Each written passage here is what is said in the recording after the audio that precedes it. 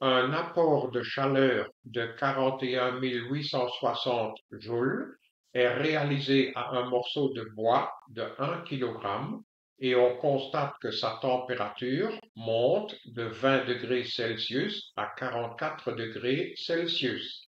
Calcule la chaleur massique du bois. Voici les données.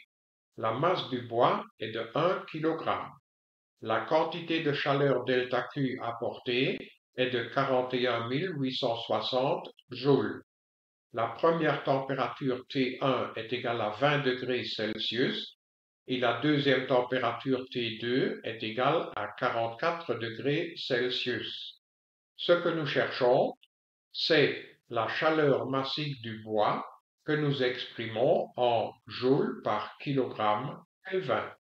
Et pour trouver cette chaleur massique, nous allons appliquer la formule delta Q est égal à Cm delta T.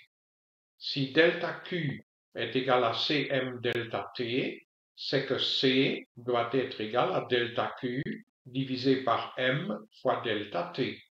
Et dans cette fraction, nous remplaçons le delta Q par 41 860, le M par 1 et le delta T par 44 moins 20, comme ceci. Et ainsi, nous trouvons comme chaleur massique du bois 1744 joules par kilogramme Kelvin.